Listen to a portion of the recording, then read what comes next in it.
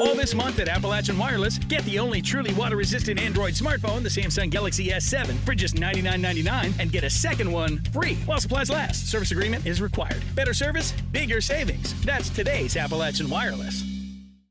Living in Appalachia, we all know how dangerous life in the mines can be. This week, the training and hard work that goes into protecting those lives will be on full display here at Bob Amos Park in Pikeville. We've got uh, happening tomorrow, Tuesday. We've got three events. Be um, pre-shift, which will occur up on the Bob Amos Park field. We've got uh, first aid, bench uh, occurring down here at the YMCA, and uh, so three total of three tomorrow, and then Wednesday and Thursday will be a mine rescue contest.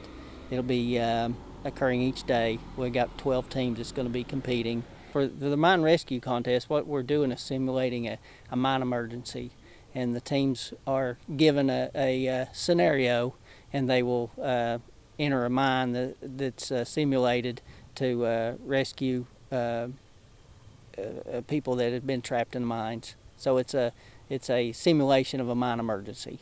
The competition will continue through Thursday when a winner will be crowned and a trophy presentation will be held.